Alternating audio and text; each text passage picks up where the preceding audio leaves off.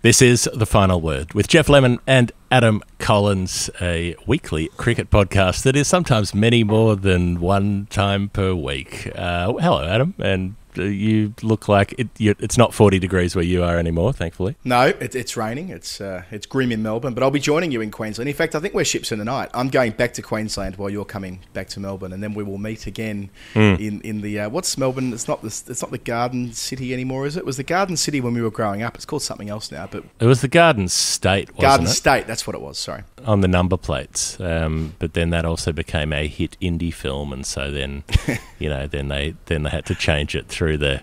I'm pretty sure Jeff Kennett had about ten different cringeworthy sort of motivational poster slogans. Victoria on the move. I remember that one. On the uh, move. the place to be was the other one. I think that I think the place to be might have been a, a Braxy initiative. I quite like that one. But anyway, that's where we'll be together uh, soon enough. But no, not 40 degrees in, in Melbourne today. I am pleased to hear it. I'm also pleased that we've had an absolutely remarkable response the last um, week or so to our interview with Marcus Stoinis, um, all the credit for which has to go to him. But I, I don't think we've ever had a reaction like that um, to the number of people getting in touch to tell us really personal things to tell us how uh, the different ways they were moved by it, what it meant to them, um, how it helped them see things differently in their own lives, or, or uh, have some sense of kinship in in grief, or um, find some little moment of closure. There was uh, a lot of really special messages over the last week.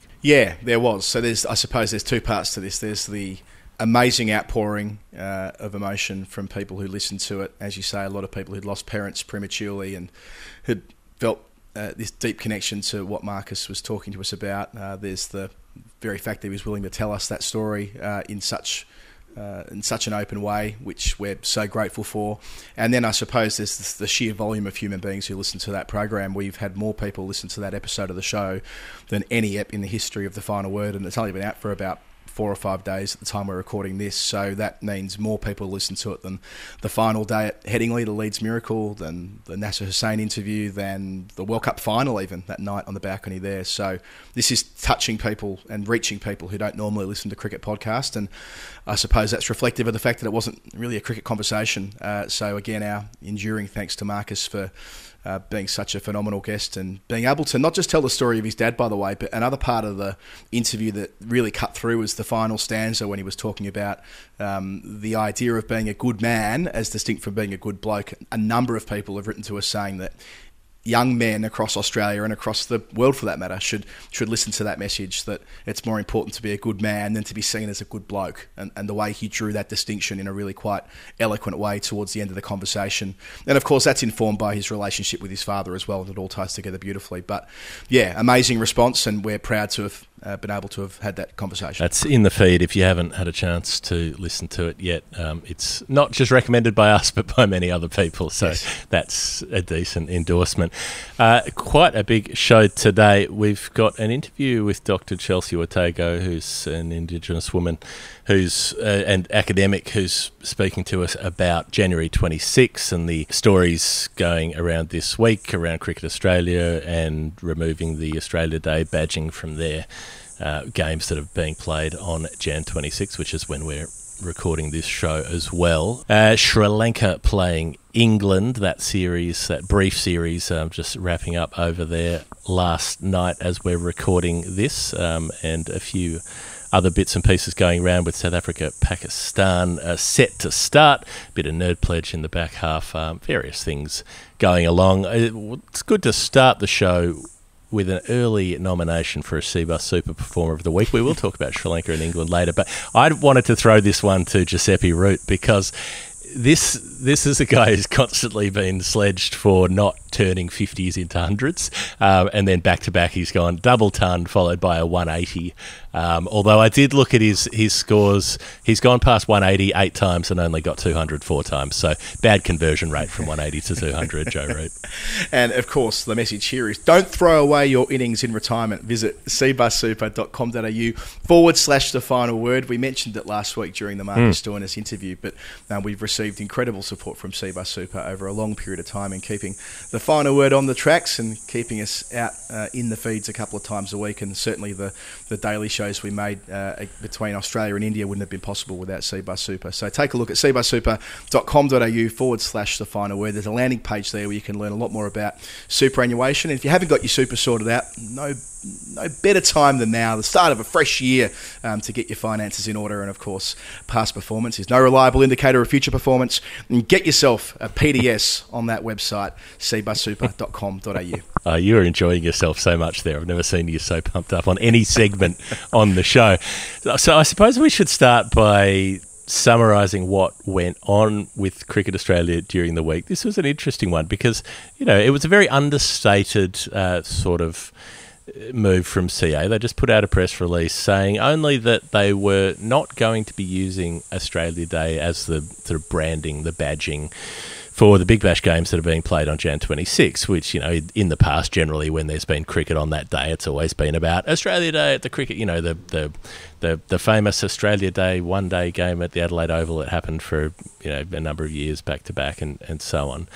And they've decided not to do that on the uh, recommendation of their Indigenous Advisory Council that um, that January 26 is a day that sucks pretty hard if you're an Indigenous person, or um, if you indeed if you just have empathy for other human beings, which seems to be um, kind of too much for for some people in our uh, political spectrum and commentariat to to grasp. But and so predictably, even though it was the most understated move, they got smashed up for it. The Prime Minister jumped in, the usual suspects um, jumped in behind to say that it was that it was disappointing and that they and that Cricket Australia should stay out of politics and as if as if politics and sport don't exist in the same world to begin with, but as if it's also not a political move to choose to use that phrasing and that terminology, given all that we know about it as well. Um, I don't know. What, what did you make of the last week or so? Yeah, well, well. First of all, I think that the announcement from Cricket Australia, because it was first seeded by one of the Big Bash clubs, it meant that it kind of happened all in a hurry, and I don't think they necessarily got the clear air they needed to explain it in full. But that's no criticism of Cricket Australia; they've absolutely done the right thing here. And basically, in response, they got a good old-fashioned stick to sport from the Prime Minister, um, condescending, kind of stick to your knitting. Um, you worry about the cricket stuff, fellas. You just lost. You know, do you reckon he would have said that you just worry about cricket had they beat India three days earlier? Of course he wouldn't have. So there was a, a cynical edge mm. to what he said.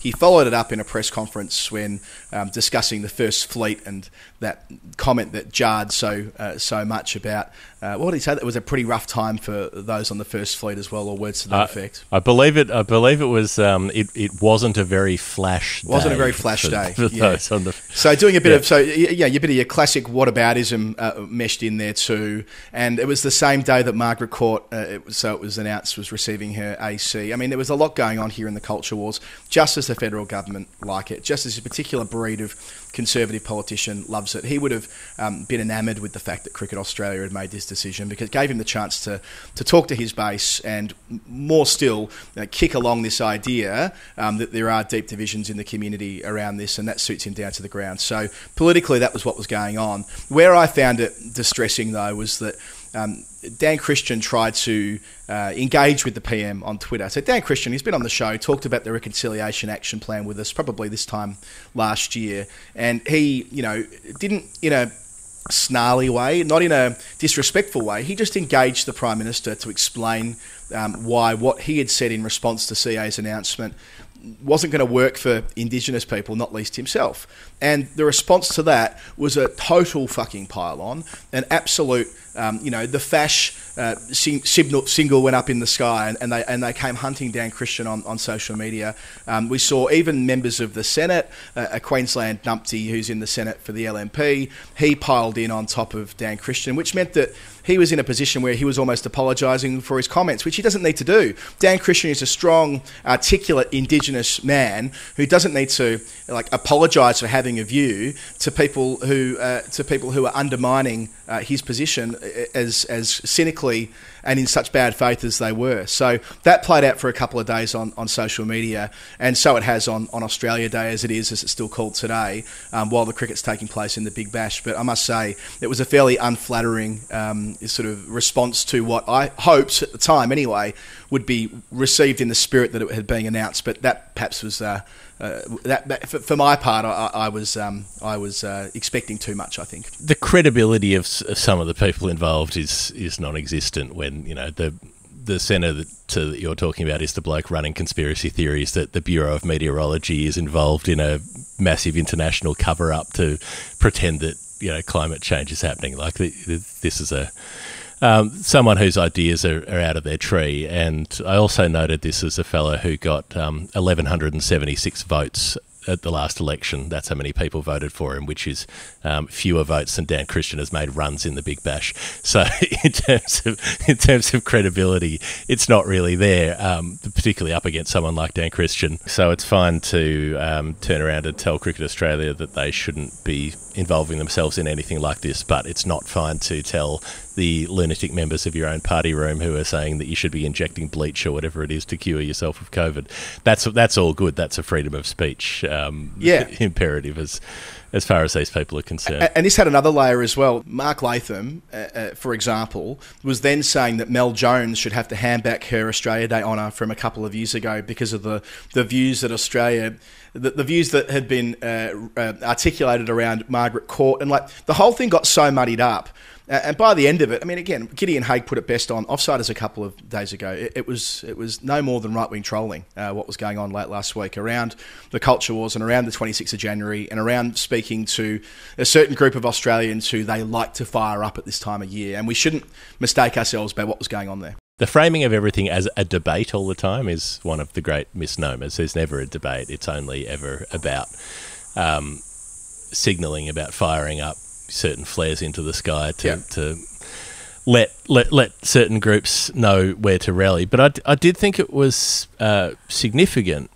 that CA's move, I thought, gave the necessary public support. That um, Dan Christian and uh, Josh Lalor as well, a couple of Indigenous players, and, and most Indigenous cricketers are, are pretty wary about saying anything too publicly on any issue related to this because because they know where it can go. They know how badly it can go wrong. They know that sticking your head up above the parapet um, can end up badly for you. But those two did come out and make strong comments during the week and back them up and were prepared to do so. And I, it, you know, I, I haven't been uh, had the opportunity to ask either of them about it, but my guess is that they would have felt much more able to do that given CA's move was publicly and positively backing Indigenous cricketers, um, and that they felt like they had explicit support from CA at that point, not just sort of implicit support. Yeah, I think that's that's well put, and, and CA should be commended for the work they've done now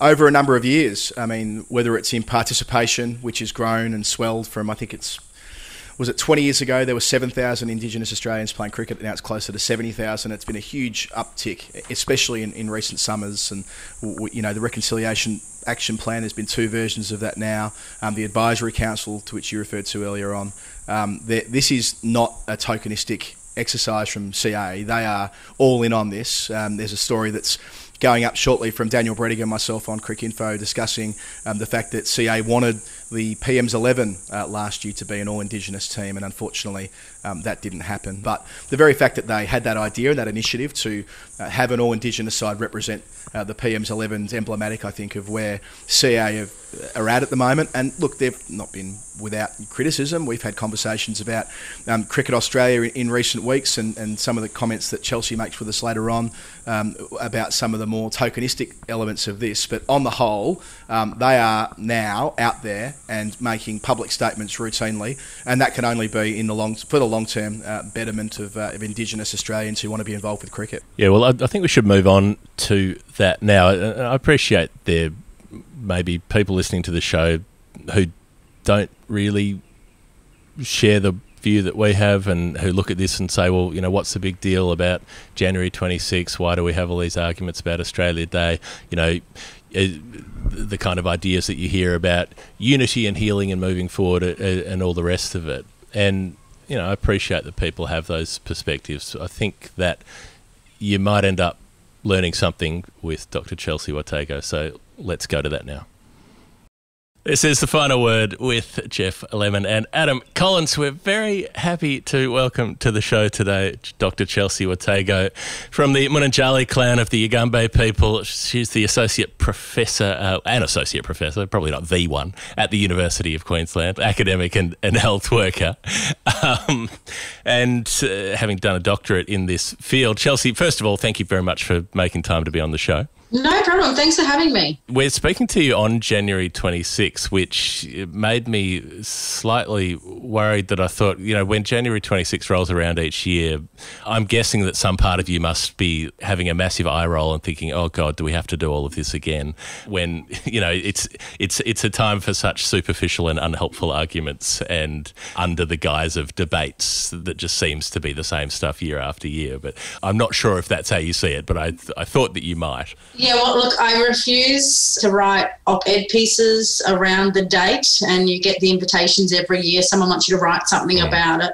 And I kind of don't read the articles that do get put out at this time because they're typically ones we've read before. And they offer nothing new. I was interested in having this yarn today just because I've been interested in, around race and sport.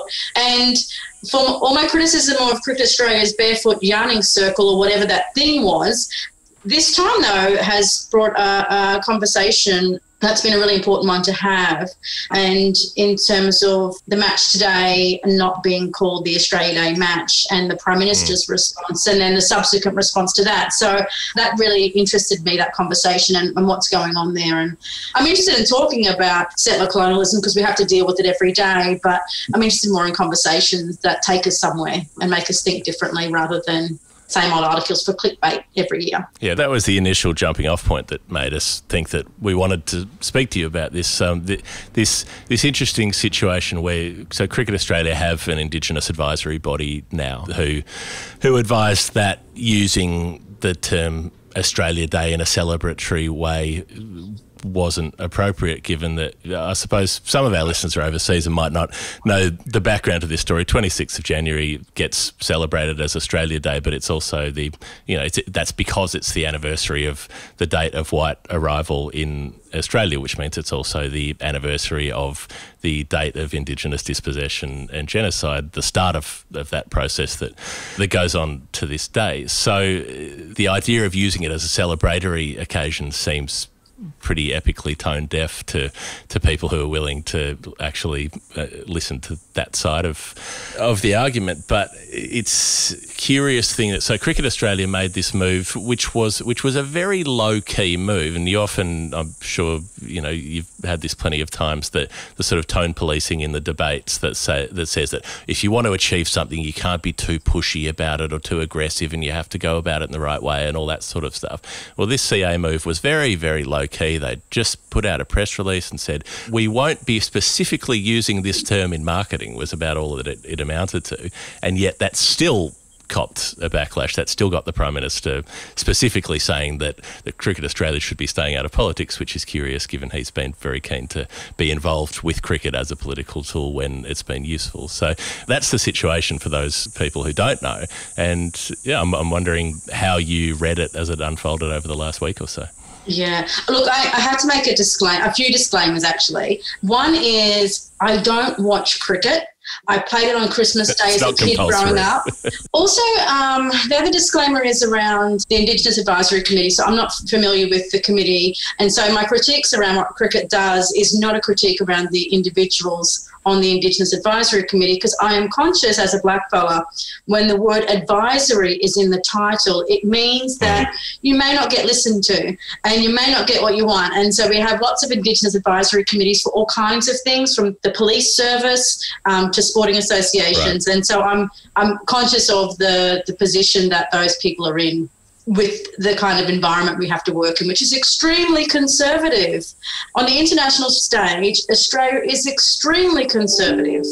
While the rest of the world is having their global Black Lives Matter moments, we have a PM that says slavery didn't exist.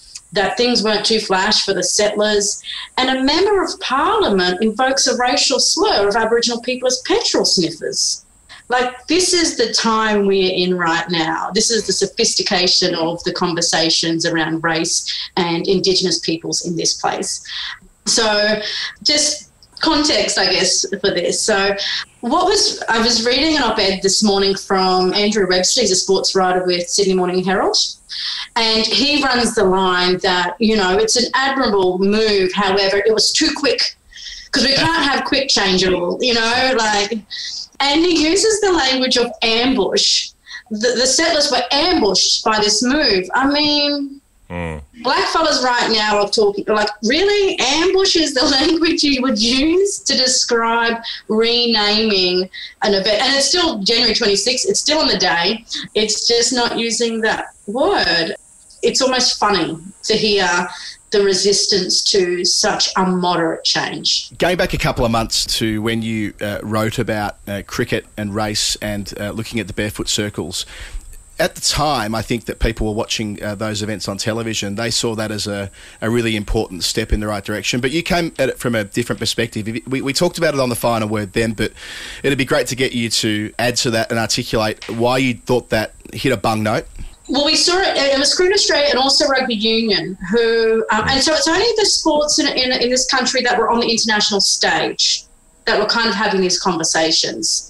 And that's because other um, nation sporting teams were taking a knee in support of Black Lives Matter. And here in the colony, even that's seen as outrageous. But Australia was being shamed on the international stage because we were being revealed as the the racist outpost that we are. And so, you know, the powers that be kind of go, well, what do we do instead of taking a knee?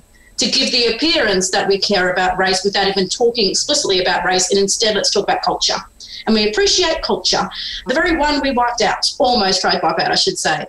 That's the context here is that these cultural ceremonies that were created by in, with Rugby Union and with Cricketing Australia were our response to Black Lives Matter. And that's so important here because those events should have been an opportunity to have some really honest, hard conversations about race and, you know, not long after, look what happens at the Sydney game. And the claims of uh, racial slurs being directed at the Indian cricket players. Imagine if we used that before that actually talked about race and how we be how we could be like courageous around race and racism in sport. The concern was is that while the rest of the world are talking about race in really honest ways, here we were trying to find ways to avoid those conversations while knowing it is ever present in every sport in this place. Um, as a black fellow growing up, it was always in sport. Even in rugby league, where there were so many black fellas playing, you, you, always heard it on the sidelines. You sat in the stands. You had to listen to this stuff. Mm. And it was all fun, and the boys just joking over beers, you know? So this is just so every day in this place. And um, so I think it was unfortunate that there was this detour away from race to, to talk about cultural appreciation in a way that was this universal Indigenous culture that was not grounded to a specific place, because we have hundreds of different nations in this on this continent, hundreds that are diverse, our own language groups, and um, so these kind of one ceremony fits all is doesn't actually honour properly the, the nations that are here and are still here. Mm. And and the nations where those games particularly are taking place rather than a, a, more sort of treating it as a more generic thing. Yeah, and we've all, you know, if, and this is not just in sport, it's every institution, you know, there's kind of this how do we give the appearance that we're doing the right thing without committing to actual change? Um, and so we've had this in Indigenous affairs for some time. It's the, the change without change. It's like the anthem changed. No one asked for the anthem to be changed from young to one. And in fact, young is more truthful than one anyway. This is a young nation in terms of the idea of Australia. It is very young compared to the Aboriginal and Torres Strait Islander nations that have been here for 60,000 years. Mm. But to call us one is far more offensive because we're not one. And we've lived in this continent as hundreds of nations, right? So we know about coexistence we don't have to live in a, in a world that we then absorb everyone to become one. Mm. We can coexist. And that's the really, I think, unfortunate part about this time is there's this refusal to see coexistence as a legitimate way of being. that we can coexist if we recognize each other properly rather than this idea of this national inclusiveness which we get absorbed into and we forget what it is that makes us who we are the end goal of settler colonialism for those who study it, the end goal of settler colonialism, where the settlers come and they stay and they never go home, the end goal for them is to make sure that the Indigenous peoples forgot that they were ever Indigenous. Mm. So when you see in the protests today, in the images you'll see on social media, you'll see signs like hashtag still here. This is the Indigenous response to the settler colonial project. Mm. We're saying we're still here. We still want to be recognised as independent nations. And the challenge then for the rest of this country who, who claim to love it so much is how can we coexist in this place recognizing recognizing that without needing to absorb us and, and insist that we forget who we are and where we came from. Particularly when this land is the land that we became human in. There's a well, first of all, we, we talk to a lot of people who aren't from Australia on this podcast, so the discussion around January 26 may not quite um, necessarily uh, be one they're, they're, familiar with. And on top of that, you see uh, many bad faith actors who like to point at January 26 and say, well, nothing really happened that day anyway, so why do we make such a fuss each year about the supposed invasion, etc., etc., etc.? Boring arguments, but nevertheless, for the record, what started happening on the 26th of January 1788? What was that the starting off point for for the indigenous communities who had to experience what was happening on their soil? I mean, of course, 26th of January means different things for different nations because of the location that we're in. Uh, according to the Prime Minister, I think it was 12 ships arrived. We're still searching for that missing one. Uh, the, the, challenge, I think, of thinking about 26th of January as the point of invasion, uh, one level, is that the colonial project is ongoing. It's every day. And so, what you're seeing in, the, in what how blackfellas are talking about this day, there is a resistance about this is not about change the date this is about changing a nation and the ideals that the nation is founded upon, which for, for a long time was a white nation. And, and, this country was very explicit about that for some time. Uh, there's no question there, and there are still many Australians who are committed to the idea who haven't relinquished that idea of a white Australia. So I think there's a challenge with the focus on the date because when we talk about colonisation, we're talking about it as it plays out still right now. When, you know, uh, and not that I'm uh, necessarily a, a fierce advocate for the Uluru Statement, but when you see a national consultation take place in which a fairly moderate proposal is put forward, that the prime minister of the day refers to that as a radical, a, you know, a radical proposal, and it was one of coexistence. It was one of how do we reconcile the relationships here and maintain them as an ongoing thing. So I think there's a challenge with fighting over dates and events because colonisation is not one event, it is an ongoing process all the time. So you mentioned coexistence a couple of times, which I think is really interesting in terms of like how how the idea of, of a nation working is, you know, how how that's viewed, where even a a more, say, a, a, political position that might regard itself as more progressive might, would still hold up this ideal of like unity. You know, the nation has to heal and become one, but that still relies on it being one sort of nation. You know, of the sort that has been prescribed to Indigenous people that they're supposed to join that or sort of be absorbed into that, rather than as you speak about being able to coexist alongside one another in in a in a different sort of way. Is, is that part of the challenge of trying to get um, you know, that that it's not just people who are sort of racially antagonistic who have an idea that doesn't fit about how things should and and would and could be. Yeah, I think, um, and it's just not to sort of to talk in false binaries, but there's a difference between colonizing people and people who are relational. Um, so I remember um, Dr. Lilla Watson um, talking to me about the fact that Aboriginal people were never a colonising people. So you know those big, you see the big language map of Australia with all the different language groups, and there's hundreds. Have you seen that colourful map? Yeah. And she's like, when people colonise a place, the first thing they do is they take over the language. Now you have to look at that map and hmm. see so many different language groups coexisting on one continent that's coexistence. So there were rules for uh, around boundaries, around who could do what. You know, there's rules I still follow about what I can do on someone else's country and what I can't do.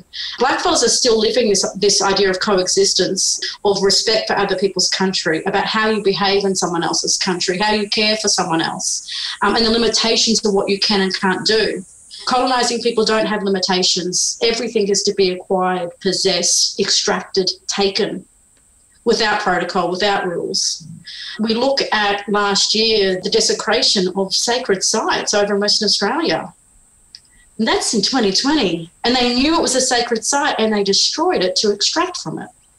And so it's how do we get this nation thinking about what it means to coexist in this place. And it's only by engaging with Indigenous peoples and knowledges that we might come to understand that. But if you are committed to the idea that Aboriginal people are racially inferior, then you'll refuse to learn anything from us. Mm. And this is this is why we need to talk about race in as much as we talk about culture. And so there's this idea of thinking of us as quaint, exotic that sit over there and, are brought out during Invasion Day or NAIDOC Week, mm. as opposed to maybe there's ways of knowing, being, and doing this place that we could offer this nation in order to make it better. And so it's changing that relationship. And we're still a long way to come, particularly with the kind of leadership we have here, where the PM refuses to denounce one of his own members of his party, referring to us as petrol sniffers. Mm.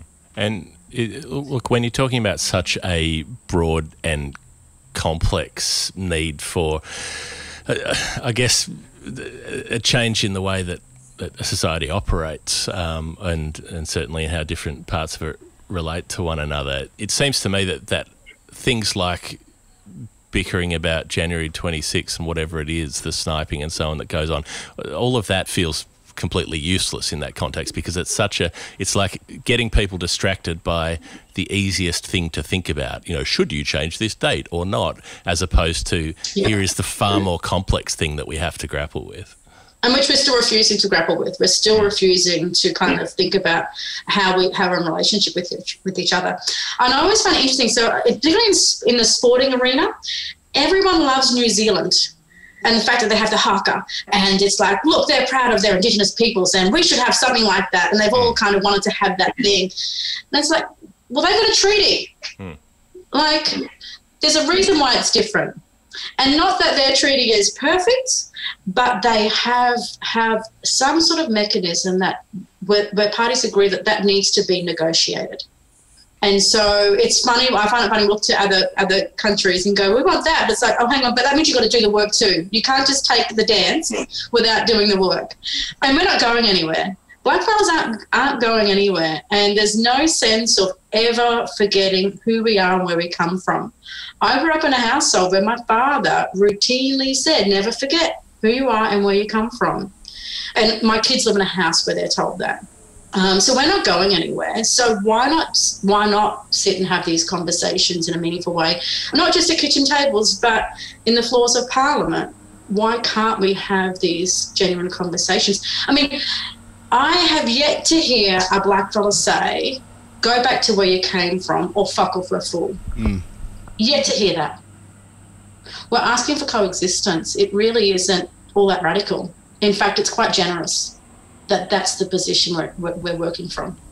What's your perspective on the tenor of this conversation over perhaps the last quarter of a century. I mean, often there's been reflections upon the Keating government, for example, the Redfern speech, etc., as a reference point, as a point in time when these conversations were being had, when the argument was being advanced, and whether it's regressed or, or whether it's not regressed, whether society has actually kept up pace and, and that there's these higher profile moments where, uh, where leaders haven't stepped up to the mark, but on the whole, we're trending in the right direction. Where do you come at this from? Look, I mean, I think the Howard era is particularly devastating, and this is coincides with Hanson. So I'm in high school during Keating. Yep. Coming out of senior high school, sorry, uh, we're, we're entering into Howard Hanson, I remember the, her maiden speech to Parliament, mm. and I remember the term.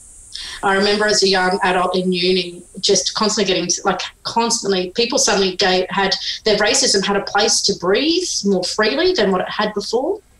the abolishment of ATSIC, um, which and, and which saw the closing down of a whole lot of community organisations that were doing really important work. And now we have this the era of a new paternalism in Indigenous affairs and closing the gap, which has a decade long record of failure. Yet we're still committing to it. We are in extremely conservative times. And even our Indigenous voices from Indigenous media to our peak bodies who are funded by this conservative government are being silenced through that. And so I've been really disappointed that the peaks have signed up to say the closing the gap agreement refresh and the way in which even uh, Indigenous media representing some of these conversations in very conservative ways. This is a really challenging time. At the same time, what's been exciting has been the, the black resistance. I remember marching on 26th of January, it was hundreds of people in Brisbane, if that. So we've seen this this rise in a very conservative politics, and it's certainly been very challenging in, uh, for Indigenous communities and Indigenous affairs more broadly. But at the same time, the refusal of blackfellas to accept that and the activism. I mean, the crowds we see now on 26th of January, where we're seeing bigger turnouts at walking across a bridge in Brisbane than we do at South Bank at the beach. That has come through years of black resistance and leadership and persistence. And each year those crowds build. And so there's something beautiful about black resistance, even in the most conservative and most challenging times, because that's when it happens, of course. So we clearly see a movement around particularly Invasion Day and whether it's celebrated. Um, the, the, polls are suggesting that increasingly people aren't celebrating the event and feel a bit embarrassed to celebrate it. So there has been a change, certainly I can see in, in my brief lifetime. But we are in a very conservative time politically, and I think mm. that people here are very complacent and don't realise how bad it is. We look, we love to look to Trump and look overseas and look at the terrible things that are said over there because we can see it but for some reason, we can't see it in our own backyard in the same kind of way. And you're about to head off just now uh, to to go and get ready to, to march on on January 26th as we're speaking. So you are still able to to turn this day in some way into something that can be a positive for, for your own community. I mean, it's it's about um, for me um, coming together with Mob uh, for my kids to, to, to have some conversations around um, thinking about their location in, the, in this world. And you know, I have kids ranging from well, 18, 18 through to ten year old twins, and it's always been a challenge for me to how to raise kids in a world in which that's predicated upon their non-existence. And I have to think about how do I give them access to things to make them able to navigate the world, but also understand its limitations and its violence at times as well. Um, so for me, this is also about um, raising my kids right by get their understanding about the social world that they're entering into and also their responsibility as people in this place um, that we all have a responsibility to make this place better for everyone. This is not necessarily an Aboriginal issue, but it is. So, yeah, so today is an important day just uh, for family, for community, um, to remind us of our strength and our power in spite of it all, to remember those that have gone before us who have made amazing sacrifices for us to be here, to have some of the opportunities that, that we do have, to even be here you know, my great grandmother had to hide out across the New South Wales border in the bush when the government officials would come to take the children. I have to remember and retell the stories of our own survival in our families and remember that that behaviour is needs to be ongoing for us if we're going to survive in space. Yeah, um, a, yeah. It's, it's a huge job, but the work goes on. Thank you for making the time for us today in, in those circumstances as well. Dr. Chelsea Watego, it's been a pleasure to have you on the final word. Thank you for having me.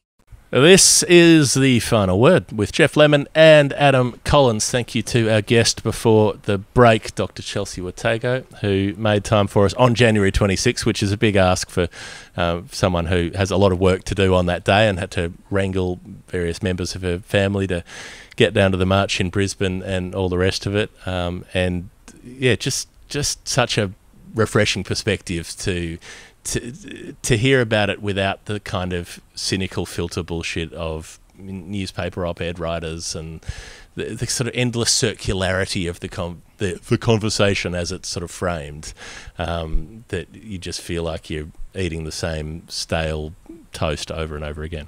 Yeah, I've seen a number of people posting today uh, that we should use this public holiday, as it is in Australia, for the 26th of January to educate ourselves about uh, the plight of Indigenous Australians. And uh, I think for our part, uh, we, we received some education there from Chelsea, all, all the more important. So uh, thanks to her for, again, making time on what's always a busy day. We we're going to get into the other bits of cricket uh, around the world, the matches that have been being played, but uh, we, maybe time for a little game first. What do you reckon, Adam? I reckon. Little, uh, little like throw, throw a little frisbee, um, a little internet frisbee down down the line. Let's do that via the medium of Nerd Pledge. I'm outside today, so I can really uh, let loose on that one. Nerd Very Pledge is the game we play with people on our Patreon page. Um, they're very nice, and they help us keep the show going by subscribing to it financially.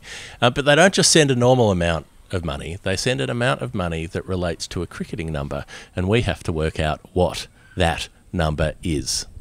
You know, you know the drill. I Adam. do. You know I do. I, realised last week when watching back our first weekly episode on YouTube, which if you're listening to the Hmm. podcast and want to watch Geoff on a balcony and me with a number of books behind me, which I don't own. I'm I'm I'm, I'm in the uh, apartment of someone else who's very well read. Uh, that um, but Are you going to get on that, that Twitter account with like um, the bookcases that just has pictures of people with bookcases in their background on Zoom calls? if, if I was lucky enough to get Um, a Guernsey on that on the back of being in front of someone else's bookcase, I'd feel quite guilty, but possibly. Um, but no, last week it became apparent to me that um, other people picked up on us looking at our screens very closely when going through Nerd Pledge. Yes, we do our research beforehand. No, we don't do this off the top of our heads, which you know it's probably obvious, but this, I mean, this, this gives th- away the magic. It would be bit. frankly insane. It- like, like, okay, we do some bits off the top of our heads Yeah, when we sure. see the number and we know what it is.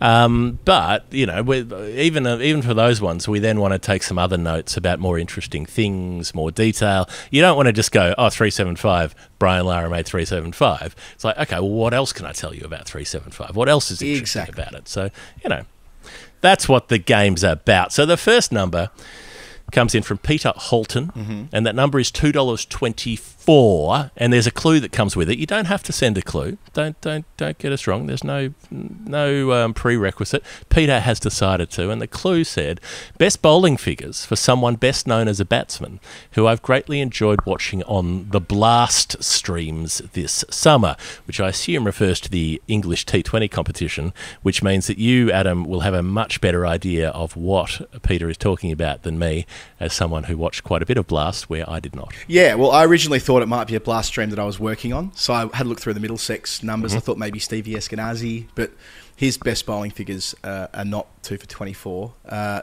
his only bowling figures are, are none for four from 12 balls in his, I guess, now long professional career. Uh, I thought about Daniel Bell Drummond. I spent a lot of time watching and talking about Deebs uh, through the summer, through the blast, but no, his best bowling across the three formats are two for six, two for 22, and two for 19. Then I kind of went through all of the batting stars uh, in the comp uh, last year, and I didn't quite sort of jump out. Geoff, you had a look at Marchant de Lange um, at, at out at Glamorgan, and uh, his best bowling figures are two for twenty six. You thought that was the number, not two for twenty four. But um, in the case of Yeah, I, I was just researching the wrong number, and so I very excitedly was like, "Yeah, I've got him! Here he is." Uh, it was not Hunter London. Yeah, well, he did play Um, in the Quarantine Cup uh, winning team uh, last year, uh, which was, uh, Okay. I think Daniel Norcross and I commentated the final where um, Glamorgan uh, Hmm. won the trophy, as it were. Uh, I think I was like referring to it being as proud as the moment when they won the county championship back in 1948. Not sure whether that was appreciated by Glamorgan fans, um, but that's what we were doing in lockdown. So that wasn't him. Uh, but in the end, Geoff, you got you, you got it. You nailed it. I think. I, I did in the end. Look, I did. I, I think I did it via a circuitous route um, because initially, you know, I was looking at professional T20 domestic figures, and then I was looking at internationals of other formats. Then I was looking at tests, and I couldn't find anything there. Doug Walters' best figures in one-day international cricket were two for twenty-four. a great partnership breaker. I don't think Dougie was um, involved in the blast, um, so I ruled Doug out. Um, in Test cricket, Tent, Co- Tent Copeland, the great camping supplies advisor, Tent Copeland. Trent Copeland and Stuart Binny, the Indian all rounder, both had best figures of two for 24 in, Okay. in Test cricket. Um, in T20 internationals, though, this is where it starts to get really spicy. One, Gulbadin Naib the Afghanistan very very short term captain and amateur bodybuilder, um, the great Gulbadin, who the man for any any occasion, all seasons, any job, whatever you've got, he'll try to fix it. Um, also, Peter Siddle, best figures in T20 internationals, two for twenty four. Didn't play a lot of them, but um, decent figures from Peter. Might Siddle. play some more. Peter, And, Siddle, I, I uh, gather. I mean, I, I, it can't be said that I watch a lot of Big Bash, but occasionally it's been it's been put to me that Peter Siddle's bowling very nicely in the Big Bash, and maybe he might have to go to India for the T20 World Cup later in Got to go to India. He's got to go to India. You've got to get Peter Siddle on the plane to India. He's one of the 63 players who've got to go. Um, but then I found the man who I think it actually is, a man who did play in the T20 Blast and has best international figures of 2 for 24, Luke Wright, formerly of the Melbourne Stars and um, more recently of county cricket in England. Uh, Luke Wright would fit the bill, would he not? Yeah, had a good season with Sussex and uh, keeps on keeping on. So uh, I'm sure that will be right. Uh, Luke Wright, uh, yeah, best bowling two for 24. Who knew? Not me. So thank you, Peter Halton, for bringing that to our attention. Geoff, next up. Our next number, Adam, comes from Jesse G, regular pledger, regular editor. Um, the latest number, $1.68. What does it suggest to you? 168. Go for gold. Well, in terms of test scores, I, Trotty at, at Melbourne 10 summers ago, uh, the 10 11 Ashes test at the MCG, when Australia all out 98, but and we often get pledges about all out 98 in different forms. We've got a 10 98 in there somewhere, ano- another did. 0.98. So there, there, there are they they exist uh, those types of numbers, but it was the next day when they really drove Australia into the dirt, courtesy of Jonathan Trott, who made an unbeaten 168. I think from memory he was out relatively early, leg before wicket to Peter Siddle, but Sids had overstepped, and it was one of those very early um, retrospective no balls that was uh, checked by the third umpire. I'm pretty right. I'm pretty sure I'm right in saying that. So, but yeah, his 168, one of three centuries he made against Australia, one at Brisbane, and his 116 at the Oval uh, on debut back in 2009 as a, a 28 year old, and we've talked a lot about that. I guess it was the year before last when Felix White and Barney Douglas were on the final word discussing their documentary The Edge, and Jonathan Trott was the star of that show in, in many respects, and uh, we got a much better understanding of what that debut innings meant to him, and also uh, what it meant to him uh, making big runs uh, on the MCG in a, in a series-defining Test match. So that was my first thought, Jeff. Okay, I like it. Um, be, you know, I know, I know Jesse's a Jesse's an, an American cricket follower with a relatively recent sort of entree into the game, so that might fall within that sort Yeah. of bracket. Um, and and a, a famous away win, which you know not that many teams come to Australia and and win. It would have been England then, and then South Africa. Um, a couple of times, and and India's more more Yep. recent one. So I suppose there've been what five in the last ten years, which is more than would have been the case in the ten years before that. I'd be willing to bet. More in the more in the previous. Uh, I mean, if you want to go back, I mean, when would have been the last time that Australia lost five series? You'd have to go back a very long span for five series at home before that. Um, 92, 93, and before 92, 93, you're probably looking at New Zealand in 85, 86. Anyway, long time, long time. Um, Right, next. Uh, oh, yeah, 86, 87, the Ashes 2, and then 82, 83. I don't know, there, there were a few in the 80s, but anyway, anyway, conversation for another Yeah, day. Um, so if- maybe not since the eighties. if Jesse's a big fan of um, of the history of the game, he might he might have looked at Keith Miller. Keith Miller was the uh, 168th Australian to play Test cricket, of course, picking up 170 scalps at 22 and a bit.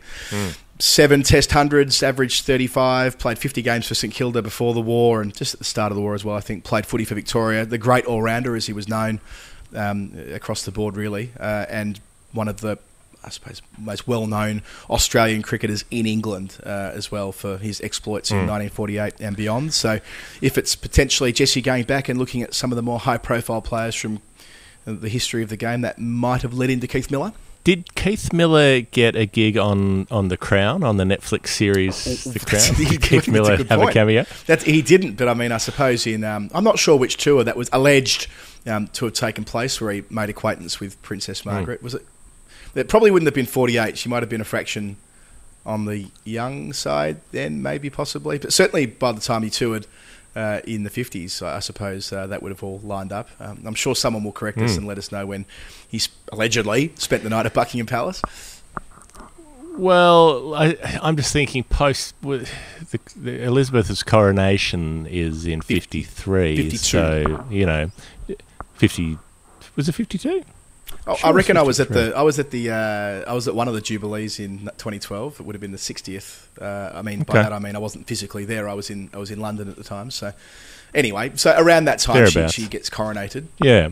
So, so I reckon after the the, the the story wouldn't be as as punchy, you know, un, unless it were after. Um, That's she'd- true. She'd risen to the throne, so it's probably post, probably mid fifties is is where we're looking. Okay. Um, I, I reckon, but. Yeah, I it's, it's been coming up on the screen um, here where I've been staying. They've, they've been watching The Crown a fair bit, so I was just wondering if Keith Miller got a got a Guernsey, but um, but sadly not. Our final number for the day comes from James Ralston. The number is one dollar twenty two. There's a clue for this one as well. James says refers to the most amazing innings I have seen live at Adelaide Oval in the last 10 years, which at this point you're thinking, well, this is a moral, we're going to get this in four seconds. But, says James, the innings was not 122. So it relates to 122 in some way. What have you got, Adam? Well, I went through all the, the major Test innings played at Adelaide in the last decade. So, for example, Ponting's double in 2011, his last great day in mm-hmm. Test cricket. There was Faf du Plessis and AB de Villiers His last, 20 last century, wasn't it? last century. Yeah, the Great Escape for South Africa in 2012 with Faf on debut. Mm. Haddin and Clarke in 2013. Uh, Warner, Smith and Clarke in that famous Test match in, in 2014. I suppose there'd be Virat Kohli twin mm-hmm. puns into that too. Usman 2016. Shaun Marsh 2017. Cheteshwar Pujara 2018. David Warner's triple in 2019, and I went trawling the cards for any reference to 122 and you know boundaries divisible into that, and it didn't quite tally. So I threw it back to you on the basis that I, I, I I've given up. Right. Well, fair enough. Um, in the South African Great Escape game, Graeme Smith did make 122 in the first innings. Uh, Oh. As well, but it's it's I should have it's, checked it's that. not a score of 122. Okay. yeah, but it's not a 122 score, so that couldn't have been it. Sure, yeah. Um, Michael Michael Klinger made a Ryobi Cup 100 off 122 balls in 2011. You'll be pleased to know. He should still be playing for Um, Australia. Oh, of- remember that Yeah. when we first started My- making the podcast in 2015? That was Yeah. I mean before the before the uh, our selection concerns about Glenn Maxwell. They were they were the, the, the, the selection concerns about Michael Klinger. But anyway, we moved on. Yeah. Klinger, Klinger must play um, hashtag, but he did at least at least get those couple of games for Australia in, in the T Twenty format. So I don't think it is Klinger's Ryobi Cup ton, although you know. uh, Not that many players would have a Ryobi Cup hundred as opposed to a, a Mercantile Mutual Cup hundred or a or a Matador Barbecues hundred. You know, so if you if you've got a Ryobi ton, that's probably a pretty select group. Um, so uh, th- th- I was looking at some other options here. One, I thought it could be Mitchell Santner's very fun test debut. You would remember in 2015, the first Yes. pink ball test. Um, Mitchell Santner came in. He made 30 odd in the first innings um, and looked enterprising. Came up the order to number six in the second innings and made 45. I think he top scored. Um, hit that big six over mid wicket, used his feet, carved some boundaries through backward point. Looked the goods. You know, looked like a lot of fun. Batted through five partnerships and, and got New Zealand up to that lead of 170 or so that um, came quite close to winning them the match. They they only lost you know, well, Australia was seven wickets down, I think, or eight, seven or eight down when they chased. them. Yep. So that that Mitchell Santner innings took 122 minutes. Um, so there's that. I mean, you you would remember that knock Yeah, quite fondly. I, I, imagine. I think he hit a six over point as well. Maybe that was in the in the first innings, but yeah, certainly when we were watching him then as a 21 year old, we're like, this guy's going to be here Yeah. quite a lot in Australia, and looking forward to watching his career. And I, and I suppose he will be in white ball cricket. I don't know when he'll get the next chance to visit as a Test player. He came last year, and I, don't know whether Mitchell Santner would be seen as a player fulfilling his potential as yet, but. He's definitely very important to their white ball hopes, and I suppose there's a chance he'll be part of that two test match tour to England that we'll talk about in a little bit. maybe just starting to fulfil that potential in Test cricket. I think that him him with the ball closing out that Test against Pakistan recently That's true. is quite a big moment. yeah, Yeah, that's that's sort of him doing the job in Test cricket. Um, you know, maybe maybe for the first time being being the influential player in that moment. So, so there was that in 122 minutes. Um, another little flight of fancy I had was I thought maybe if I'm looking at it not as 122 but as one, two, two, one, two, two. That's the way that David Warner scores runs these days. You know, not a lot of boundaries. Picks up singles, picks up doubles, singles, doubles, singles, doubles. And when he made that triple a couple of years ago, um, he made what uh, 150 odd of the runs, 160 odd of the runs in boundaries, which means he made 173 of the runs by running up and down the pitch, ones, twos, and threes. So I calculated that that's 3,806 yards minimum, meaning 3.48 kilometres that he did just between the wickets. Um, That's not quite that as far as so I would one, think. Two, I, would, I, would, have thought that you would do hmm. more than 3.4 kilometres if you're batting for that long. When you certainly when you hear that uh, outfielders in a in a one day international can do 10 kilometres on the rope. If you're Chris Woakes or Glenn Maxwell riding the mm. boundary, that it can be a 10k jaunt across 50 overs. I'm kind of surprised yeah. that Warner only did 3.4 k's, given he would do that in about 12 minutes if you put him on the tan track. Yeah, well, I mean, the, a batsman would do a lot more than that if you you know had the device on them because they'd be backing up every ball. That's they'd true. be you know get coming up and getting back into the crease. They'd be advancing down the wicket. They'd be setting off for runs and turning back. Um, you know, there'd, there'd, be a lot of extras, but but that's just purely on the 22 yards between the okay. running creases, um, minimum 3.48 k's. But it's probably not one two two in that sense. What it probably is is another David Warner number. In 2019, David Warner made an even 100 against Sri Lanka in a T20 game, one of those late season white ball games that got him the Allan Border Medal ahead of Steve Smith because he kept being best on ground in every T20 match that Australia played. Um, his opening stand with Aaron Finch was 122. They made that inside 11 overs, so 65 balls. They had 122 on the board for the opening partnership.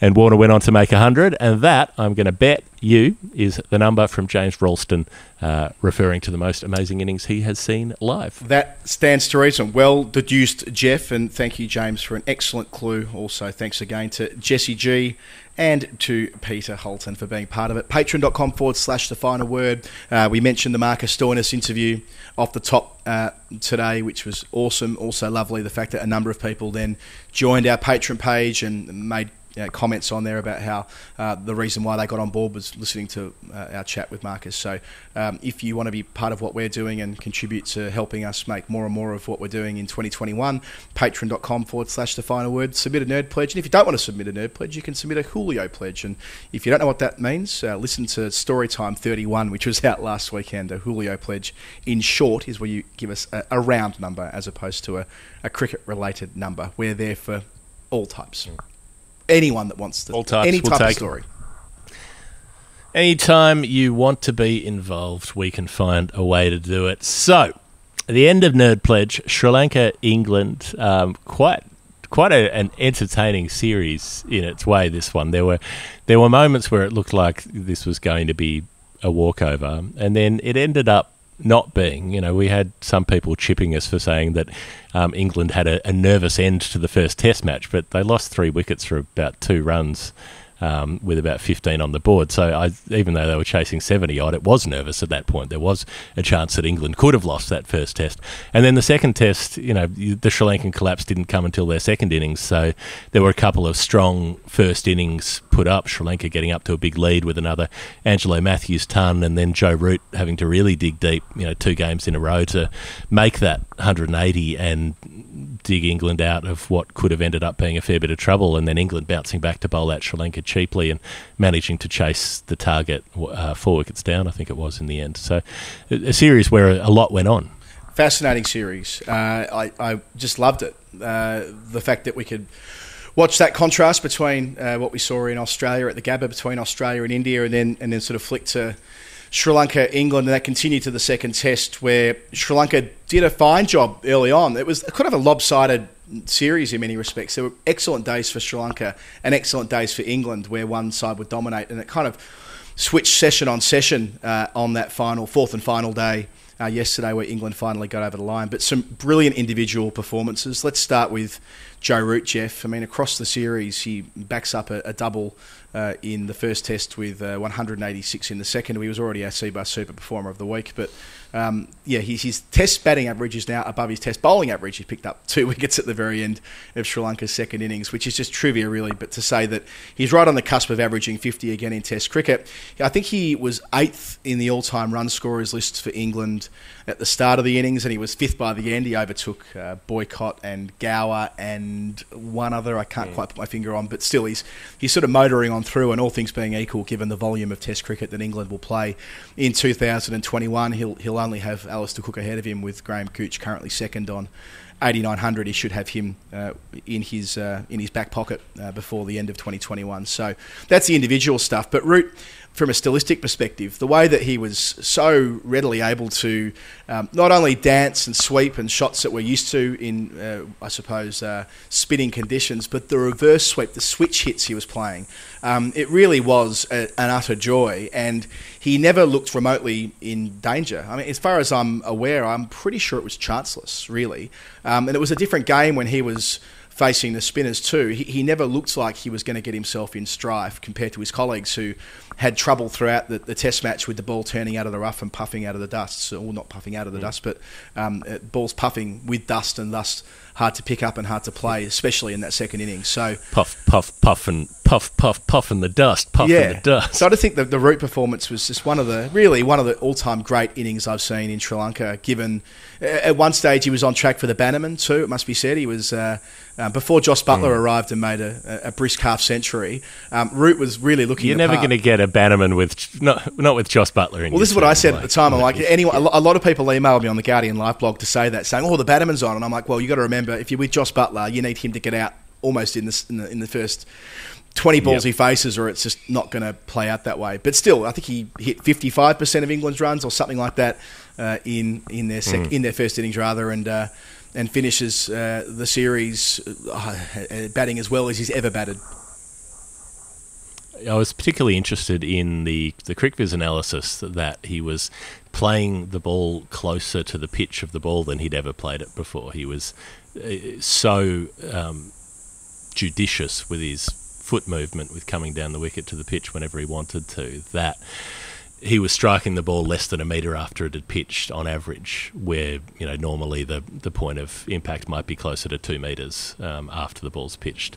So that gives you so much more control against spin. If you can be close to where the ball has landed, you're reducing its chance to deviate and thus draw a false shot. So you know that was that was quite extraordinary. But to be able to keep that up, that level of concentration for those two really long innings back to back, um, and to do it in, you know, pretty hot and oppressive conditions. We've both toured Sri Lanka, and it's a it's a very sticky, sort of warm place to to be out there for hours on end trying to maintain that concentration. It's a it's a prodigious effort to put those two innings together back to back. Yeah, and Embuldeniya is a is a star. At 24 years of age, taking 10 wickets in the match, making runs as well. You look at the contrast. He takes 10 wickets, 10 English wickets across the across the match seven in the first innings, three out of four or the second time around. So yeah, the, the 10 out of 14 for Sri Lanka across the board. Um, but Root, by contrast, in the series made 200 runs against the left arm spinner, going at five and over. So you know Sri Lanka's best bowler couldn't keep Root at bay, which is why England win the series. But mm. exciting that we have another uh, finger spinner from Sri Lanka who can not only beat right-handers on the outside edge and give it a huge rip, but beat them on the inside edge. We saw a number of times off the index finger, I suppose, with that old fashioned arm ball, or sometimes even hitting the shiny side, which is a different thing altogether. That's not an arm ball, that's intentionally making sure the mm. ball doesn't hit the seam.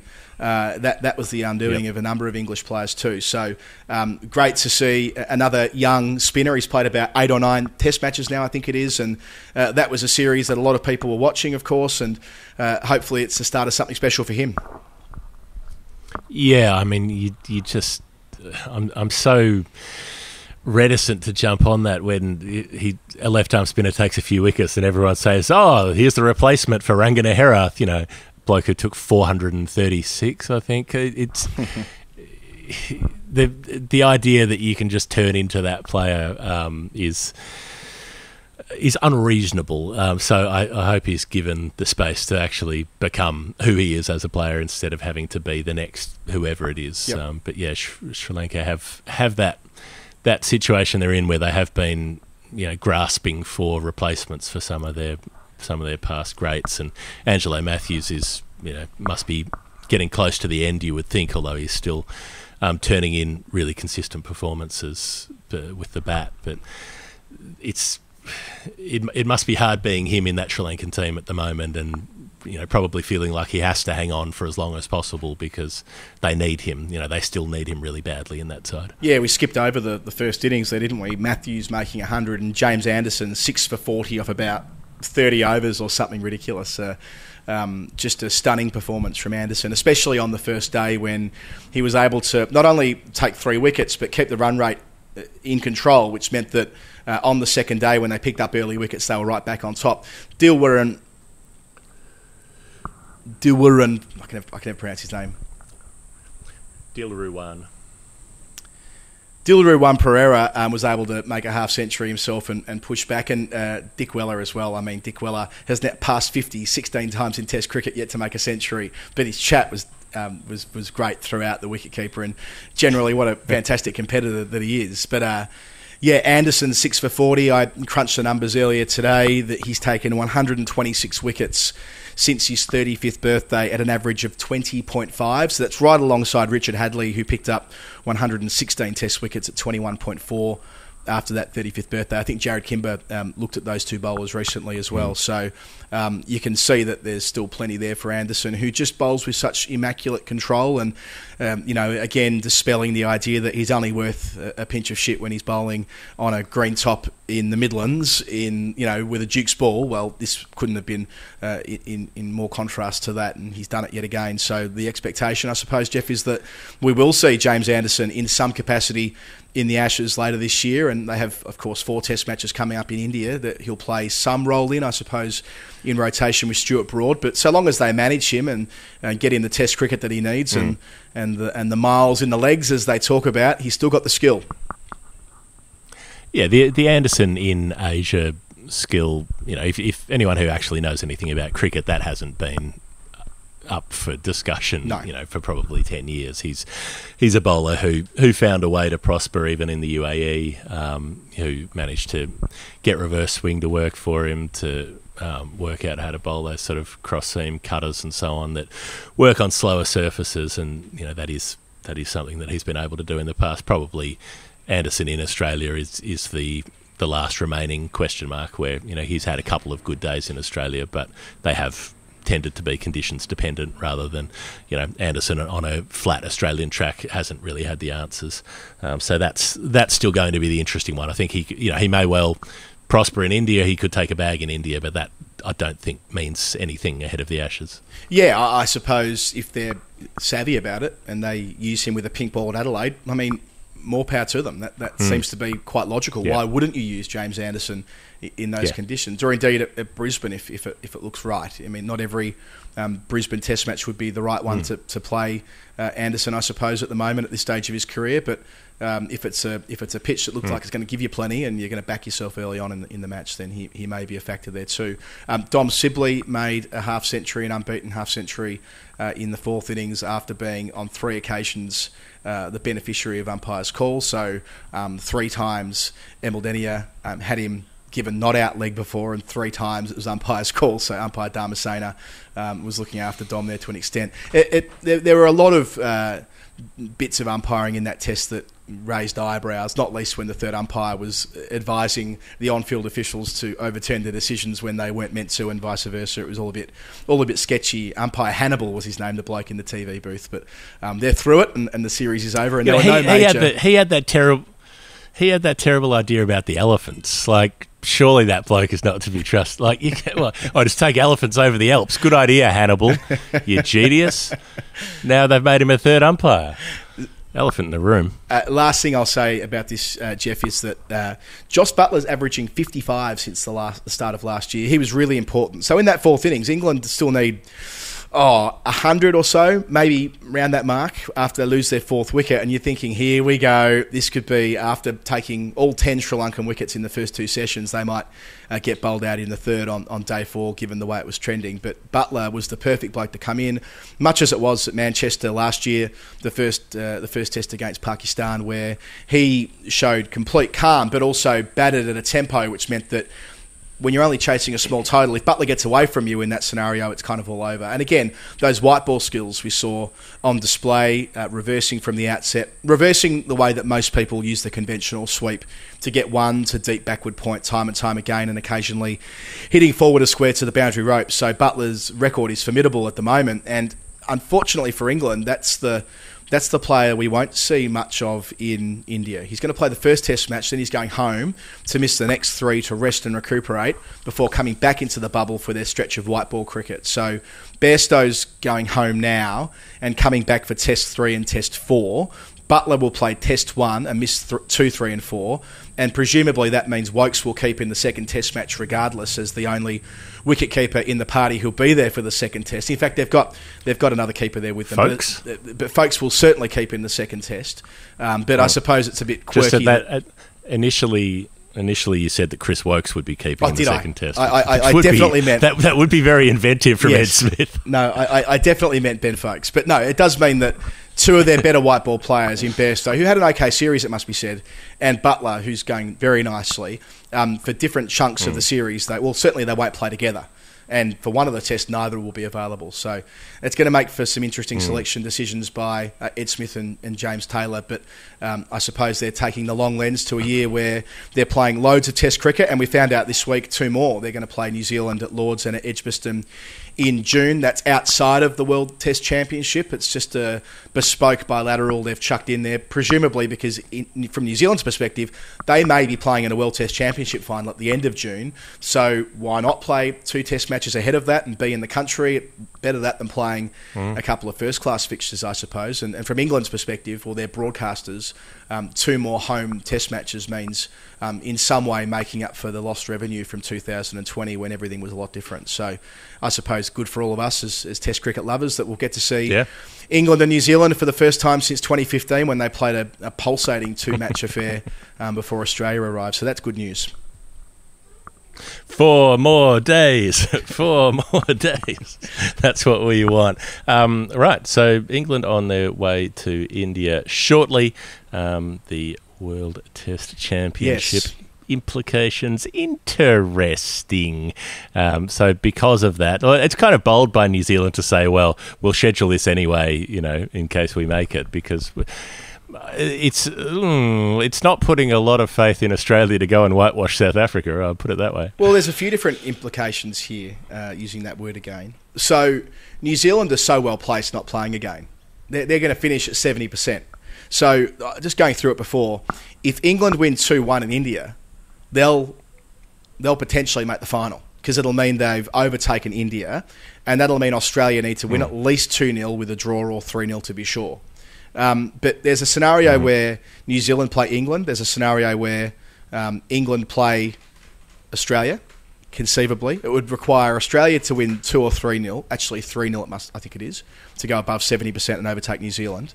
Uh, whilst England have need to beat India 3 0 and have one draw two. Unlikely, but they could still play each other.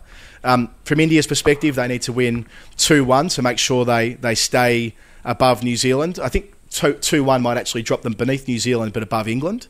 So I suppose the point I'm making here is, is that in the two remaining series, in the seven remaining Test matches, there's about seven combinations who might play at Lords, which I think's uh, uh, in the in the it's a tick for the WTC. Isn't that what, kind of what we wanted? We, we one of the and I know that's easy to take the piss at the moment. Um, given it's being done by percentage, it's complicated. The points are all over the place, and you know there's there's a lack of consistency with how they've allocated points. But if you kind of step back from that and just evaluate it on the basis that we've got seven tests to go, four teams very much in it, and any combination can play anyone, hey, I think that's a good thing. Uh, and and I suppose it'll Yeah. mean uh, we'll be watching those two series even more closely than we otherwise would be because they'll they'll have um, they'll they'll have a direct effect on who plays at Lords. Yeah, I'm, I'm loving this. It's like it's a you know the point about two weeks into the football World Cup where everyone's just become an expert on every global football team, and they're all talking about all of the scenarios. Oh well, you know, if Iran if Iran can get a draw against South Korea, then they'll go ahead on goal difference, and they'll be into the quarters for this and that. Um, the uh, piece of really good news we have um, as the the reintroduction of international cricket to Pakistan continues. South Africa heading back to Pakistan. First time in 13 years and 10 months, which is the lifespan of many a good dog. Um, speaking of elephants earlier, Babar is back and will be captaining the side. Babar Azam, uh, Kagiso Rabada back in the test team for South Africa. Good news for them. Um, it's been it's been a, it's been a strange 12 months or so since KJ Rabada played a Test match, and um, and and it's going ahead. There will be there will be Test cricket in Pakistan against South Africa. Happy days. Yeah, consecutive days. We're having uh, Test cricket from the subcontinent, so it would have been clashing. This would have been the final day of England and Sri Lanka, but uh, Pakistan and, and, South Africa get that clear air. And this is in the World Test Championship as well. I should add. It's just that Pakistan and, and South Africa, and subsequently Bangladesh and the West Indies, I think, is the other series taking place, and then Sri Lanka and the West Indies, if I've got all that in a straight line. But none of those teams can make it. So when I said before, there's there's seven Test matches left. There's seven. We're not gonna as make the, it. Uh, as far as the no, final we're not concerned. gonna make it. Uh, but yes, we're not gonna make it to the final. Thirteen years and ten months, and the, the, last time they played it was at Karachi as well. Um, great stuff. All this. This was the Telford Vice was uh, making the point in his preview for Cricbuzz that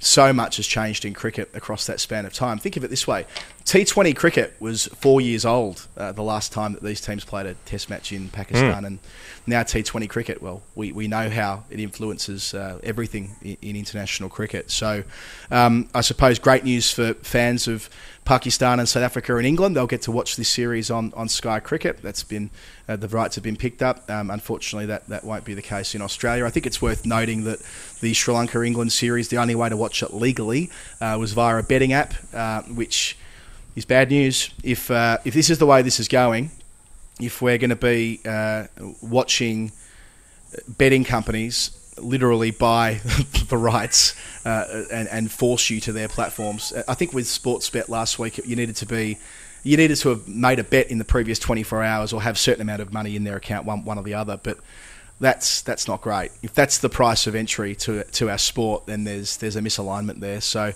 I'm not sure what happens next on this front, but what I do know is that um, we won't be able to watch Pakistan and South Africa in Australia unless we've um, well, I'm not even sure. I'm not sure whether that betting company have got the rights to this, but it's unfortunately not going to be on television. Mm. Yeah, you can only watch the footy if you have a plunge on who's going to kick the first sausage roll. Oh, it's a slippery slope, isn't it? Gross, gross. Uh, it's not even. No, it's, it's at the bottom of a slippery slope into a fucking cesspit, like into a cracked open septic tank. It's disgusting. It's like you know, swimming in the wrong parts of Port Phillip Bay and just, mm. just, just coming up covered in gunk. It's it's it's rank um, and it's money and it's like the worst parts of sport, which are that really really shithouse people and really shithouse companies want a piece of it because there's money in it. Um, anything that people care about, there's money in it. So anything that means something that matters to human beings, there will be some fucking rank pricks out there looking to carve off a slice of it as cash. So, uh, look, I th- th- it's, it's people like this who make me hope that maybe some of the religious theories are real. Maybe there is eternal suffering and damnation, you know, and maybe, and and if there is, maybe it'll be worth going just to see the other people who are down there. Um, but yeah, well, at least we got to see. I mean, I suppose um, you know. Let's let's let's look at the positive side of this. At least a couple of years ago, we got to see Pavel Florin on television. I mean, that was on TV in Australia, mm-hmm. so you know, not, I suppose that's that's not always yeah. lost. That that wasn't that wasn't on a via a betting app though, was it? That was. I'm just making. I'm just drawing. I'm just drawing the contrast to what's available on television. You see. Yeah. So. Oh yeah, yeah, sure. I mean, Pavel Florin was. Uh, did you see his um, winter training video? I did. Uh, I did. In in the last week or so. Yeah, batting, batting, bowling, catching practice in the snow, rolling around shirtless in the snow, doing push-ups. Very sort of Arnold Schwarzenegger in Red Sonja. It's maybe one of my favourite shit American '80s movies things is they were like Arnold Schwarzenegger, he can play a Russian, no worries. Sure, he's from Austria, whatever. Just do the accent. Put one of those big cat hats on him. Uh, it'll be fine. Uh, yeah, so so Pavel was, was he was really really um, living up to the the Eastern European um, standards there. Respect to him. Uh, Jeff, so that's taking place two test matches, one in Karachi, I think one in Rawalpindi, and that will be, mm-hmm. I think, the end of our conversation today. We're looking forward to that mm-hmm. series. We're looking forward to England uh, now moving on to India. Australia are going to be moving on to South Africa in a couple of weeks. Uh, I think we'll invest a bit more time uh, in our next weekly episode talking mm. about the, the whys and wherefores of that. Quite a bit going on right now behind the scenes, but none of it seems to be quite bedded down. So I expect we'll have more formal uh, type of announcement this week or next, and we might come back to it there. I, I was just thinking that the Rawalpindi Express should be a Wes Anderson movie as well as a Pakistani fast bowler. Um, you know, like maybe maybe that's Shoaib's breakout role when maybe that's when he really you know finds out how much the camera loves him when Wes Anderson gets Shoaib in some like orangey pastel sort of background colors in a really like lingering close up staring blankly into the camera. It'd be a good time. And speaking of staring, this is a good time to finish the yeah, show. it will be. I've got a little girl on the floor who's waving her arms at me, wanting my attention. So best I go and do that. Yeah, go on, get her on, get her on the cam. No, it's just a, it's, it's, it's one stretched. Oh, maybe she'll crawl underneath the table here and join us. We'll see. In any case. Um, all right, all right. Well, what I will say is that this is the end of the final word today with Geoff Lemon and Adam Collins. Fortunately, if you enjoy the show, uh, we'll be back on the weekend with Story Time, our cricket history show, and we'll be back the following week with the weekly show because that's how it works, much like monthly magazines. Um, and we'll probably be back. We're thinking, there she is. Hello, Winnie. We're thinking of doing um, doing some daily shows for the India England series. That might happen too. So you know, keep it, keep an eye out for that. Um, uh, the show is on the Bad Producer Podcast Network. Uh, Jay Mueller and Astrid Edwards keep that going. David Collins is the editor. Uh, every time we put out one of these, hi. I just got a hi and a wave. Getting very advanced here very quickly. Um, and uh, thank you to everyone on Patreon who supports the show and makes it possible for us to do it. Also, Cbus Super and Wisden Cricket Monthly, who are uh, supporting us in their own ways week after week. It's been the final word. It's Winnie. She's delightful. You can hear her saying hi in the microphone. She's now worked out that word and is going to give it an absolute thrashing over the next few months, I imagine. That's us signing off. Bye. And we'll see you next time.